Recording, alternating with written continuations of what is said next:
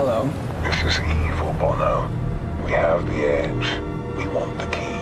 You are surrounded, and not even Lara Croft can help you now. In world news tonight, evil U2 have been spotted floating in the sky, wreaking havoc with the city.